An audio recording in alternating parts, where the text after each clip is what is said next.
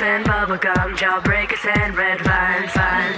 Call it chill, but we're here to warm you up. We call ourselves the hotties and we're gonna win that cup.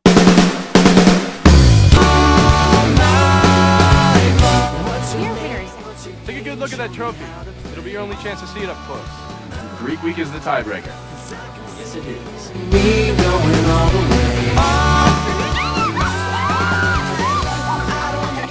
You, then why are you in a school?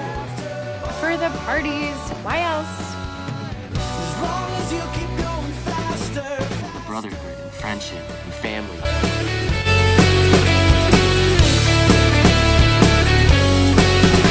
I got candy Did you know that one time Evan pooped his pants at Camp Chihuahua?